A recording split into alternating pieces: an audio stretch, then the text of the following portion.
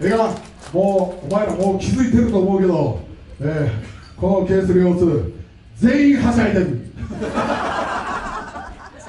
さっきジミーさんにも言われた、えー、みんなはしゃいでると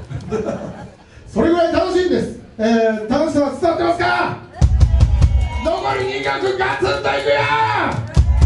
みんなで声